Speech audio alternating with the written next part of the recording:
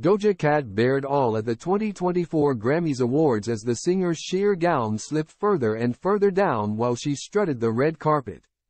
Doja Cat suffered a major wardrobe malfunction as she joined her fellow nominees for music's biggest awards night. At the 66th Grammy Awards, the Demon's hitmaker made a head-turning entrance in a sheer gown, highlighting the countless tattoos scattered across her body and left little to the imagination. The risque dress cinched Doja's waist,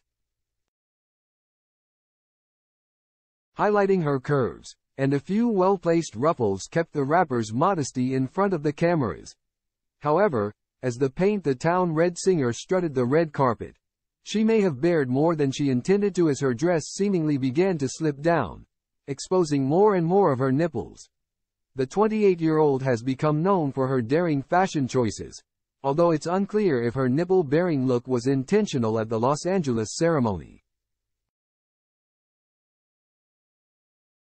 She accessorized the look with some statement diamond jewelry including two crucifix necklaces that lay across the cathedral tattooed on her chest.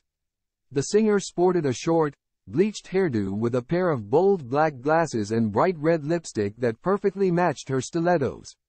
At one point during her red carpet walk, the Grammy nominee picked up a camo green trucker hat, briefly wearing it backward for a few photos, in classic Doja style. The rapper hissed and stuck her tongue out at the photographers before striking a few more classical poses and headed inside, away from the Los Angeles rain that descended on the red carpet.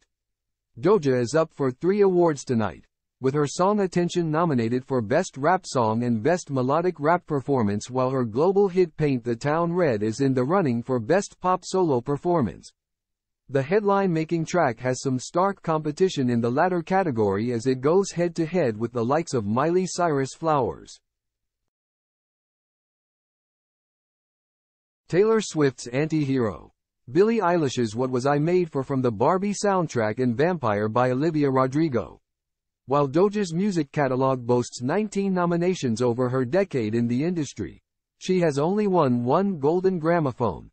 At the 2022 awards, Doja and SZA took home the award for Best Pop Duo group performance for their track Kiss Me More and their acceptance speech was a nearly instant viral sensation.